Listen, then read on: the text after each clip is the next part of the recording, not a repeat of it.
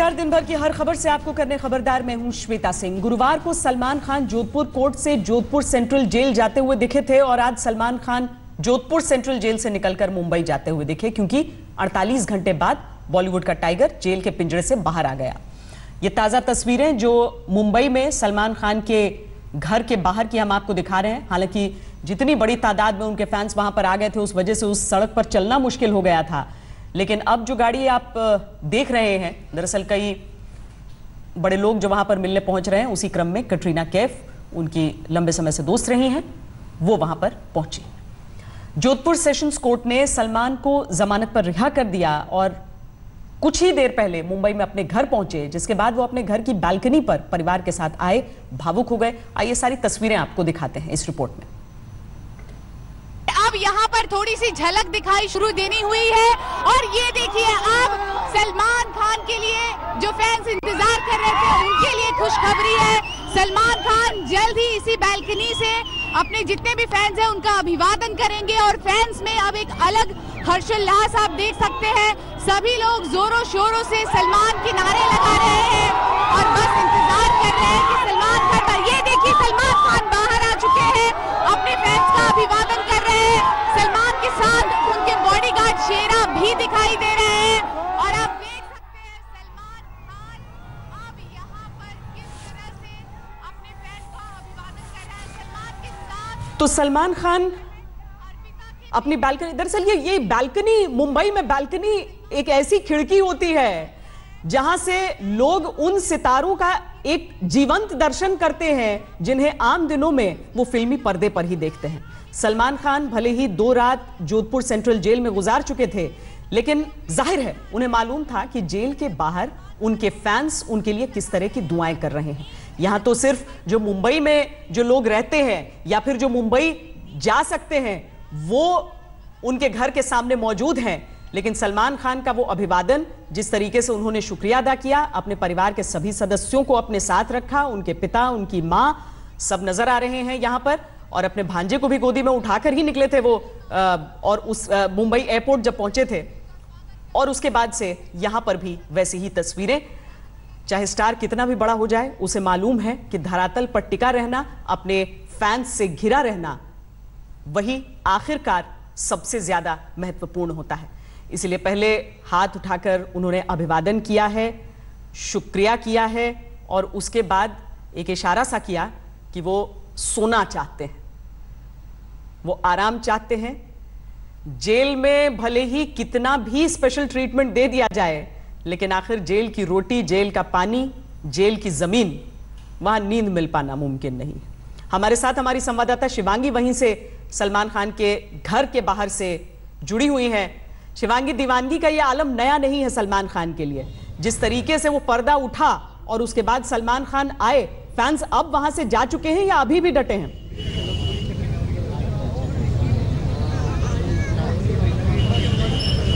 बिल्कुल श्वेता, सलमान खान के लिए जो फैंस की दीवानगी है, वो कभी भी कम नहीं होती और जैसे ही उन्हें पता चला कि ज़मानत मिल गई है सलमान खान को, यहाँ पर ढोल नगाड़े बजने शुरू हो गए और सलमान जब शाम को यहाँ पर आए और जैसे ही उस बैल्कनी से पर्दा हटा, यहाँ का नज़ारा जो था, वो किसी जश्न से कम नहीं था। यहाँ पर आतिशबाजी हुई, यहाँ पर ज़ोरदार नारेबाजी हुई, यहाँ जो, ज़ोरों से लोग सलमान के गाने गा रहे थे, भाईजान भाईजान की आवाज़ें लगा रहे थे और अभी भी फ़ैन जो है वो यहाँ पर मौजूद हैं। सलमान ने खुद उन विजुअल्स में आपने देखा होगा कि एक जेस्टर किया जहाँ पर उन्होंने अपने फैंस को कहा कि आप लोग घर जाइए, आराम कीजिए, सो जाइए।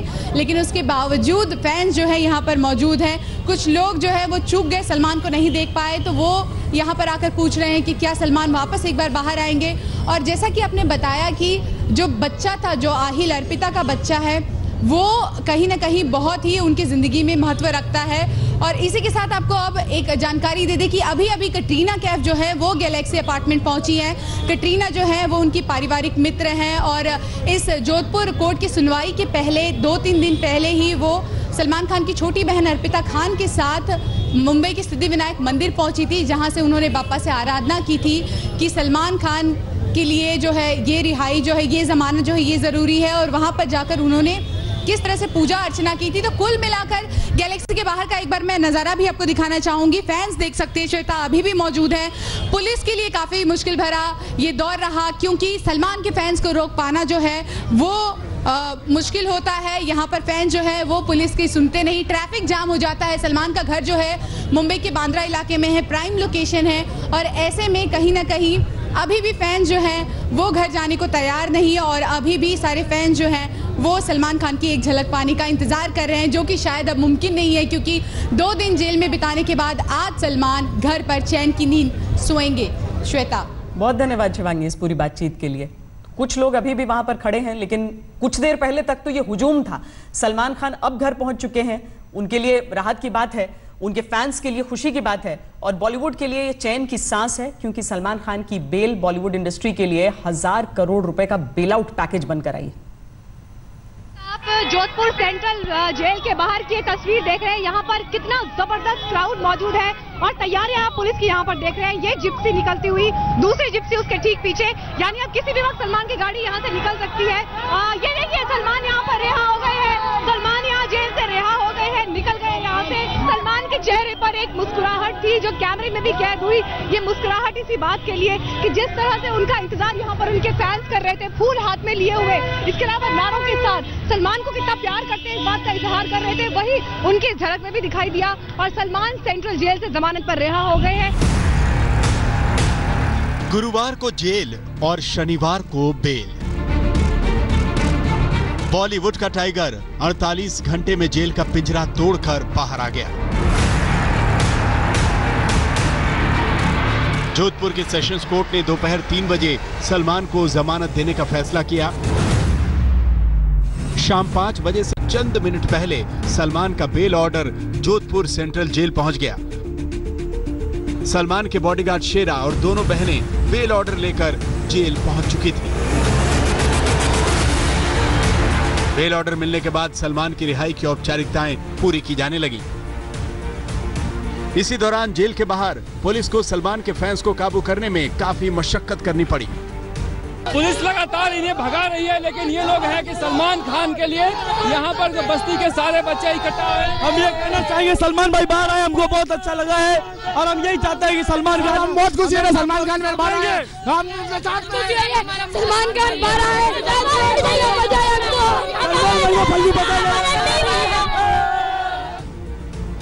सलमान खान ने जेल डीआईजी से बातचीत की और कुछ कर्मचारियों से हाथ मिलाया।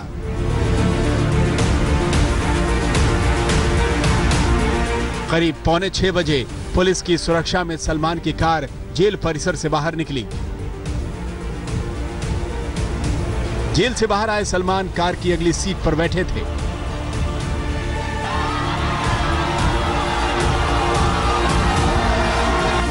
जेल से एयरपोर्ट के रास्ते में जगह जगह सलमान के फैंस उनकी एक झलक पाने के लिए बेताब हुए जा रहे थे।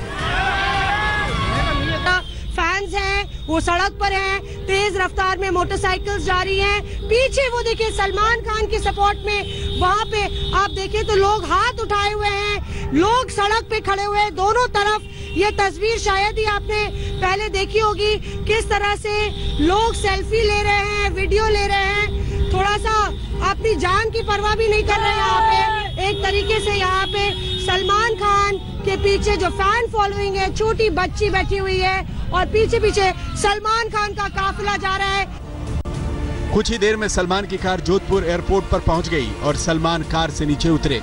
सलमान को उनके बॉडीगार्ड शेरा एयरपोर्ट के अंदर ले गए, जहाँ चार्टर्ड विमान पहले से तैयार था। कुछ ही देर बाद सलमान को लेकर चार्टर्ड प्लेन ने मुंबई के लिए उड़ान भरी। पूरे फैंस की जो तादाद थी वो एयरपोर्ट के बाहर बहुत ज़्यादा थी। यहाँ पर वो सिर्फ़ न फूल बैठा रहे थे रास्ते पर, बल्कि जैसे ही सलमान की गाड़ी यहाँ एयरपोर्ट के पास पहुँची, वो यहाँ पटाखे फोड़ने लगे। यहाँ पर उनकी गाड़ी को घुसने में भी थोड़ा समय लग रहा था। इसी बीच मुंबई में सलमान के घर गैलेक्सी अपार्टमेंट के बाहर सुरक्षा व्यवस्था टाइट कर दी गई। रात करीब आठ बजे सलमान खान मुंबई पहुँच गए। और इस तरह सलमान खान के जोधपुर जेल का 48 घंटे चले प्रवास का द एंड हुआ। वो भी पूरे कायदे कानून के साथ जोधपुर की सेशंस कोर्ट से जमानत मिलने के बाद। पचास हज़ार रूपए की जमानत पर रिहा करने के आदेश दिए। जो आपने ग्राउंड रखे वो ग्राउंड काम किए हाँ वो सारे उसी आधार पर जमानत मिली। सर एक आपने बड़ा ग्राउंड गिनाया कि 20 साल तक सलमान खान लगा हाँ वो सारे ही सारे ही आधार रहे सलमान के लिए काफ़ी बड़ा दिन ये ये तो है ही है। सलमान खान की जमानत ने सलमान को चैन की सांस तो दी ही, बॉलीवुड इंडस्ट्री को भी राहत दी है। सलमान खान को मिली जमानत बॉलीवुड के लिए किसी बेल आउट पैकेज से कम नहीं है। सलमान से जुड़े बॉलीवुड के तमाम प्रोजेक्ट पर करीब एक हज़ार करोड़ का दाम लगा था। सलमान इन दिनों लगभग 120 करोड़ रुपए के बजट से बन रही रेस थ्री की शूटिंग कर रहे हैं। सलमान इसी साल जून में लगभग 210 करोड़ के बजट में बन रही भारत की शूटिंग भी शुरू करने वाले हैं। इसके अलावा सलमान का नाम अब तक बिग बॉस के अगले सीज़न के लिए तय है। सलमान खान का एक और टीवी शो दस का दम भी जल्द ही टीवी पर आने वाला है।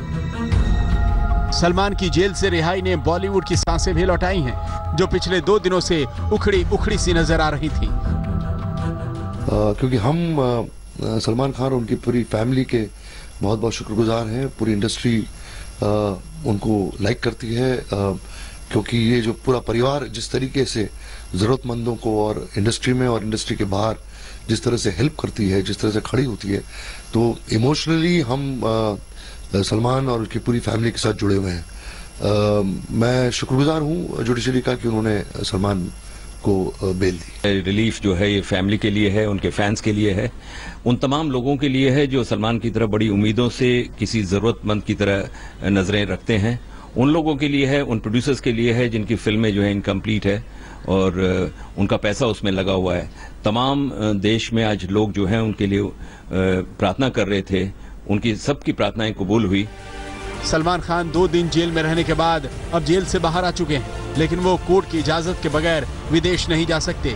और अब उन्हें 7 मई को जोधपुर सेशंस कोर्ट में पेश होना है, जहाँ अब दोबारा से उन पर काला हिरण शिकार मामले का केस चलेगा।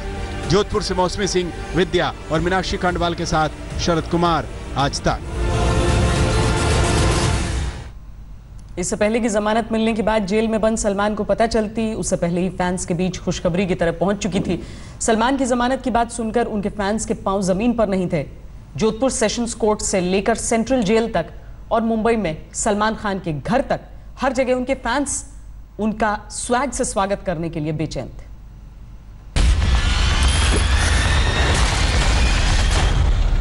स्वागत नहीं करोगे आप हमारा?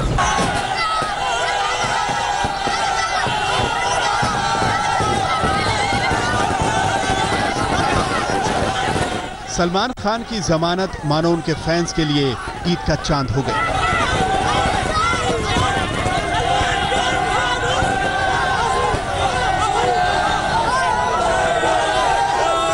जोधपुर कोर्ट के बाहर फैंस को जैसे ही मुँह मांगी मुराद, पूरी होने की खुशखबरी मिली। उनकी खुशी का ठिकाना नहीं रहा।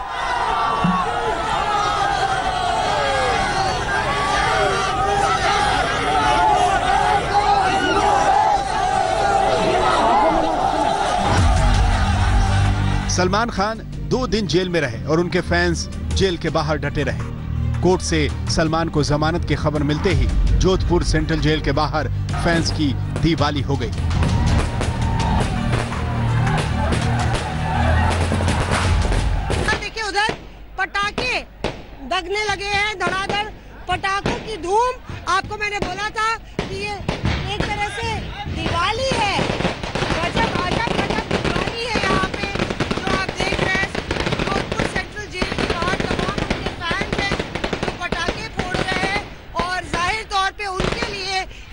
दिवाली से कम नहीं है। जब उनका सुपरस्टार उनका बॉलीवुड का बॉडीगार्ड उनका बॉलीवुड का दबंग निकल रहा छोटे छोटे बच्चे डांस कर रहे हैं और यहाँ पे सलमान खान जिंदाबाद के जो नारे हैं, वो खत्म होने का नाम नहीं ले रहे।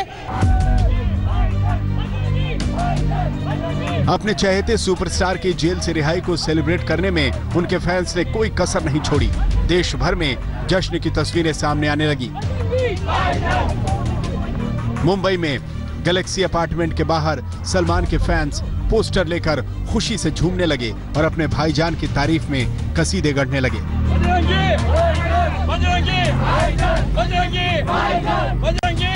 बहुत अच्छा लग रहा है बहुत अच्छा लग रहा है। हमने बहुत दुआ करे कि सलमान भाई छूट जावे। किसी का बुरा नहीं करे वो इसीलिए वो छूट गए। बाकी दुनिया बुरा चाहेगी लेकिन जिसको अल्लाह रखेगा उसे कोई नहीं चकेगा हमें बहुत खुशी हो गई और हम तो यही कहेंगे मुद्दा लाख बुरा चाहे तो क्या होता है वही होता है जो मंजूर होता है। पटना से सलमान की राखी बहन सबा और फराह जो सलमान के जेल जाने के बाद से अनशन पर बैठी थी वो भी अपने राखी भाई की जमानत की खबर सुनकर तालियाँ बजाने लगी। दोनों ने मिठाई खाकर अपना व्रत तोड़ा। आज बहुत खुश है, आज खाना भी खा लेंगे खा लेंगे। बहुत खुश है भाजन से मिलना चाहते हैं। भाजन हम लोग को बुलाए भाजन को मिठाई मिठाई खिलाना चाहते हैं। सलमान को अभी जमानत मिली है, लेकिन उनके फैंस इसी में खुश हैं। आगे जो होगा, देखा जाएगा। फ़िलहाल तो सलमान के फैंस को इसी खुशी में ज़िंदगी की किक नज़र आ रही है।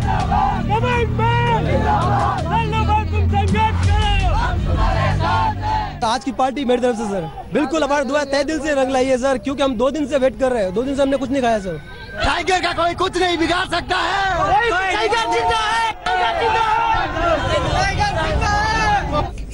से करेंगे सबका स्वागत। से करेंगे सबका स्वागत।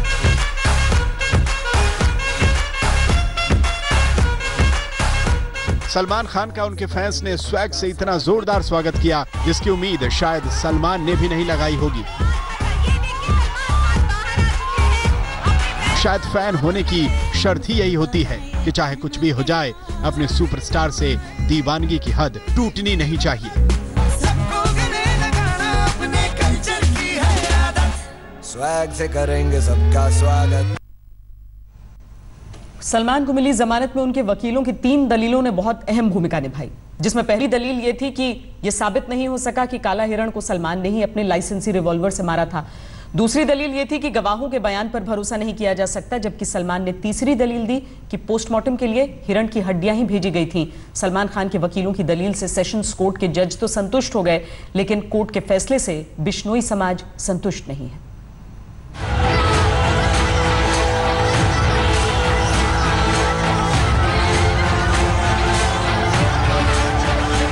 सलमान खान जमानत पर छूट चुके हैं और जेल से निकलकर मुंबई पहुँच गए हैं।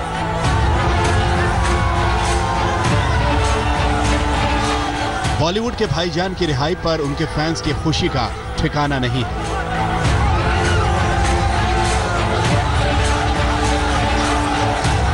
लेकिन सलमान की रिहाई पर हर कोई खुश नहीं। बिश्नोई समाज ने सलमान खान को पाँच साल की सजा होने पर पटाखे फोड़कर खुशी मनाई थी। लेकिन आज सलमान को जमानत मिलने के बाद वो मायूस है। सलमान को जमानत मिलने के बाद बिश्नोई समाज ने हाईकोर्ट का दरवाज़ा खटखटाने की तैयारी कर ली है। अभी जो माननीय न्यायालय की प्रक्रिया के तहत जो जमानत मिली है, इससे आगे हम सक्षम न्यायालय में अपनी गवाहों के साथ मजबूती से पैरवी और अन्य मामले जो राज्य सरकार के थ्रू सुप्रीम कोर्ट में विचाराधीन है, उनकी भी उन्हें समीक्षा करके और जिन गवाहों ने पूर्व में एक के बयानों से जो मुकरे हैं, उनका भी नार्को टेस्ट हो और जितने भी प्रकरण है, इस प्रकरण की निष्पक्षता से जाँच हो, पुरजोर हम इसका पैरवी करेंगे। बिश्नोई समाज सलमान खान की जमानत पर नाखुश है, लेकिन कानून भावनाओं के आधार पर फैसला नहीं सुनाता। जोधपुर सेशंस कोर्ट के जज ने सलमान खान को जमानत देने से पहले उनकी सजा के ऑर्डर की कॉपी को पढ़ा। इसके बाद आज सुनवाई के लिए आने से पहले सेशंस कोर्ट के जज रविंद्र जोशी ने सलमान को सजा सुनाने वाले सीजीएम कोर्ट के जज खत्री से मुलाकात की। करीब साढ़े दस बजे सुनवाई शुरू हुई और जज ने एक बार फिर से दोनों पक्षों की दलीलें सुनी। दलीलें सुनने के बाद जज ने लंच के बाद सलमान की सजा को सस्पेंड करते हुए जमानत देने का फैसला सुना दिया। सेशंस कोर्ट ने 25-25 हज़ार रुपए के निजी मुचलके पर सलमान को जमानत दी है और जमानत के साथ कुछ शर्तें भी जोड़ी हैं। जैसे कि सलमान को विदेश जाने से पहले कोर्ट से अनुमति लेना ज़रूरी है।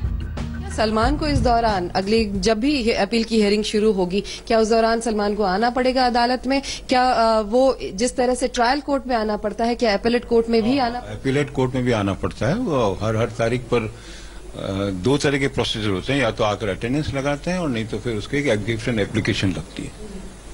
तो अ, अ, ज़रूरी नहीं है कि आए लेकिन अदालत जब भी उन्हें आज्ञा देगा तब उन्हें आए। आज्ञा देगा तब तो आना ही पड़ेगा अदरवाइज़ एग्जीबिशन एप्लीकेशन भी लग जाती है। कोर्ट में सरकारी वकील ने सलमान की जमानत का पुरजोर तरीके से विरोध किया था लेकिन कोर्ट को सलमान के वकीलों की दलीलों में ज़्यादा दम लगा और सलमान को जमानत मिल गई। कानून के जानकार बताते हैं कि सलमान को जमानत मिलने के फैसले से कोई हैरानी नहीं हुई। सलमान खान जमानत पर रिहा हो चुके हैं और मुंबई पहुँच चुके हैं। अब काला हिरण शिकार मामले में उन पर दोबारा से सेशंस कोर्ट में सुनवाई होगी और फैसला कब और क्या आएगा, ये कहा नहीं जा सकता। लेकिन एक बात जो कही जा सकती है, वो ये कि सलमान की रिहाई ने बॉलीवुड को एक हज़ार करोड़ रुपए के नुकसान से बचा लिया। मौसमी सिंह के साथ शरद कुमार, जोधपुर, आज तक। सलमान खान को मिली जमानत पर उनके फैंस खुशी जता रहे हैं और बॉलीवुड राहत की सांस ले रहा है, लेकिन सलमान के लिए ये सिर्फ़ फौरी राहत है, क्योंकि उन्हें जमानत भले ही मिल गई हो, लेकिन वो अभी भी कानून के मुजरिम हैं और जोधपुर की सेशंस कोर्ट में 7 मई को बतौर मुजरिम पेश होंगे। विवाद और फिर जेल ये सलमान के लिए कोई नई बात नहीं है। दिलचस्प ये है कि ज़्यादातर विवादों के लिए सलमान मीडिया को गुनहगार ठहराते हैं लेकिन वो ये भूल जाते हैं कि कोर्ट खबरों से नहीं कानून से चलता है। बहरहाल सलमान को कई बार जेल में रहना पड़ा है और कई तरह की समस्याएँ झेलनी पड़ी हैं। आइए सुनते हैं जेल की कहानी सलमान की जुबानी। Like, I genuinely don't believe that you would have shot it uh, at the black buck if you'd known it was an endangered species. And do you think that's true? Um, hmm.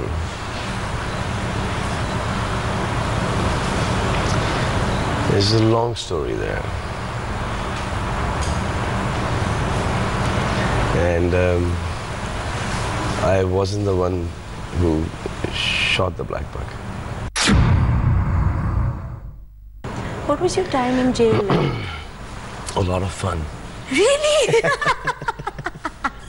okay, stupid question gets that kind of answer.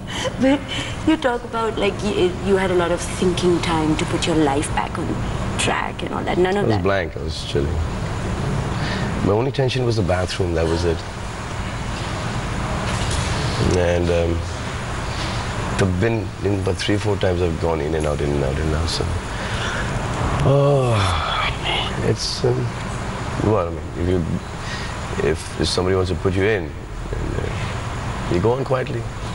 When you know that you haven't done it, you go on with your head high. And did you share it? Like share the space with a lot of people? Yeah, police custody here for the accident thing. Um, yeah. And there were like these nine or twelve rooms. Everybody was, uh, everybody had nine, nine, nine, nine, nine, nine, ten, ten people in one, one room. And one bathroom, one toilet. So that was.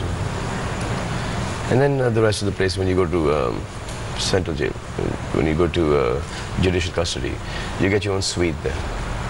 I wouldn't quite call it a suite, but if that's what you want to call it. Who used to come and visit you the most when you You're not allowed. Uh, you Anyone? Yeah, once a week. So you get uh, one caddy will get you chai in the morning, then you one, or the same guy will come get you lunch. There's one guard outside, and then you get this one mug that uh, you have your chai and then you wash it, and you have your water, and then you have your uh, dal chow, whatever, and then you use it to take a shower. no you food use it from to- outside? You use it to take a shower. You use it to whatever you want. And what happened to your bodybuilding at that time? I was doing lots of push-ups and crunches and stomach and all that stuff. I used to work out twice a day. Do you think you're misunderstood? No, not really. Um, I know people, a lot of people say that, but uh, I think I've just been written badly about. They know of me, they don't know me. If they want to make a judgment on me because um, I'm not available to them or I don't talk very much to them, is their opinion. And everybody's They, you're entitled. talking about the media. Yeah, this section of uh, the media. If I was uh, so bad and what they've written about me all throughout, then today I wouldn't have been. It's been 19 years of me in the film industry. I wouldn't have been here. Do you feel happier with the media at the moment? Because uh, you seem to be clearing the air through it a little bit at the moment. Yeah, yeah. Uh, there is, you know, that that one section of it that the dar dar dar dar dar dar. Whenever something happens, you start off with, you know, with the first in- incident that happened, and then you take it through. Go, ये accident किया ये hunting case that case this case that case बदतमीजी करता है इसको मारा है अरे you don't even know what one percent of the truth is just because I cannot say things i will not say things But That you've doesn't- chosen to be silent, no? A Yeah. lot of the time. Why? Yeah, because because I haven't spoken.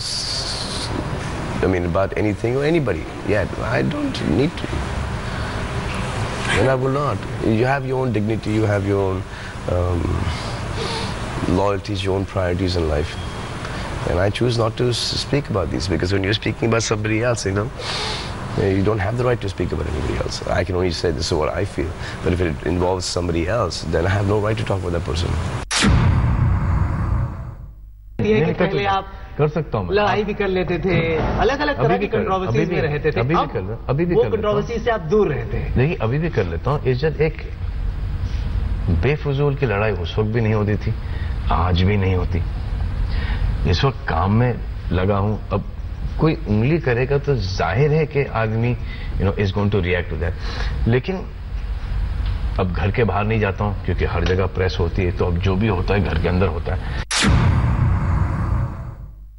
अभी तक जो life जो जी है, जो life जो देखी है, उसका शुक्र अदा करना और ना शुक्र नहीं बनना।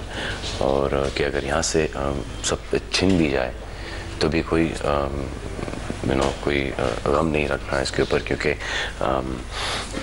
कितने लोगों ने ऐसी ज़िंदगी देखी होगी। कभी देखा सो रहे हो और आप जागे देखा कि मेरी शादी हो चुकी है? नहीं ये ये सपना तो नहीं आता लेकिन मुझे ये सपना ज़रूर आता है कि मेरे बच्चे पैदा हो गए। जी। अच्छा। और जब शादी कभी कभी कोई आता है तो मैं चौंक के उठ जाता हूँ। हालाँकि नहीं उठना चाहिए मुझे। I should enjoy the whole process क्योंकि सपने में उस और वो सपना भी साकार हो जाएगा इन अब बहुत जल्द या बहुत लेट वैसे ही मुझे ऐसा लगता है कि काफ़ी लेट हूँ मैं लेकिन इसको जितना लेट कर सकता हूँ अ, जो मेरी कैपेसिटी है वो मैं उतना ट्राई करूँगा ज़रूर करूँगा। बट uh, अभी ऐसा लगता है कि अ, इतने सारे लोग ये सवाल अ, पूछ रहे हैं मुझसे अ, कि उनको मेरी शादी अ, से अ, बहुत लगाव है बहुत अ, बहुत इंटरेस्ट है। तो मेरा एक मशवरा है कि भैया अगर मेरी शादी से इतना आपको इत, मेरी शादी में इतने इंटरेस्ट है तो आप एक आध और क्यों नहीं कर लेते? लेटेस्ट खबरों के लिए यूँ ही देखते रहिए आज तक। और इस वीडियो के पसंद आने पर लाइक शेयर एंड सब्सक्राइब करना ना भूलें।